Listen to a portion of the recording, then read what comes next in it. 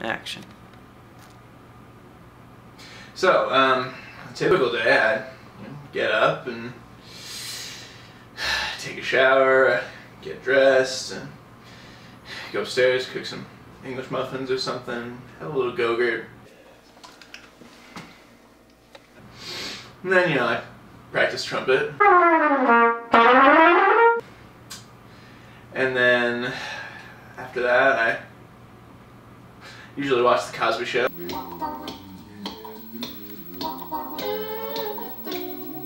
Yeah, then I practice trumpet again.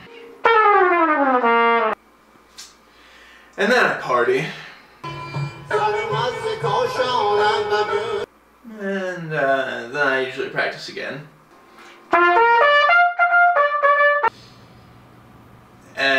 Watch some more Cosby Show. then I practice again.